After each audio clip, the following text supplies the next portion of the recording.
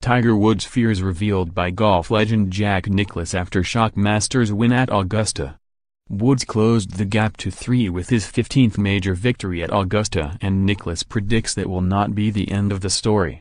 He feels there are more majors in Woods and believes this year's schedule offers a golden chance for the 43-year-old to strike again. Everybody kept asking me, what about Tiger? Can he win another major? I kept saying, I think he will said Nicklaus. After seeing Molinari hit the ball in the water at 12 and Tiger put it on the green I said, tournament's over. He was possessed to win a golf tournament. No one wants their records broken but I felt for a long time he was going to win again and the next two majors are at Bethpage, where he's won, and Pebble Beach, where he's won. So, you know, he's got me shaking in my boots. Woods destroyed the field at Pebble to win the U.S. Open in 2000 by a record 15 strokes and also won the U.S. Open at Bethpage in 2002 where the next major, the USPGA Championship, is being held next month.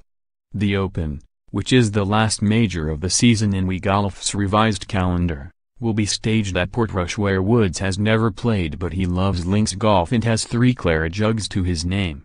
The Big Four will be Woods' priority in a slimmed-down schedule as he tries to coax his battered body towards the target. That is more difficult at 43 because of the restrictions his back issues place on practice. The ice bath has become his new best friend. The hard part is I can't work on my game like I used to. I can't work on all facets of my game every day, said Woods. My body doesn't move like it used to, that is just father time and the procedures I have had and that is the way it is always going to be. But my hands are still good.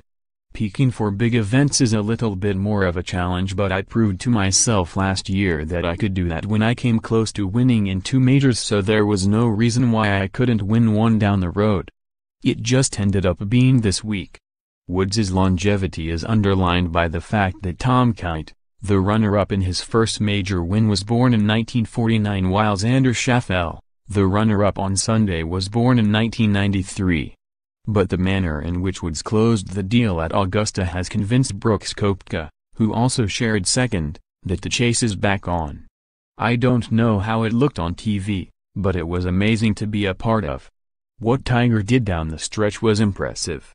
We already knew he was back, but I think he put the exclamation point on it said Koepka. This is definitely one of the greatest comebacks I think anybody's ever seen. I think 18 is a whole lot closer than people think. The hype surrounding Woods will be off the scale as he pursues Nicklaus's mark but his caddy Joe LaCava insists there is no rush. It's nice to get to 15 to 18 isn't a thought. Now 15's here, let's get to 16, said LaCava. Is it in play?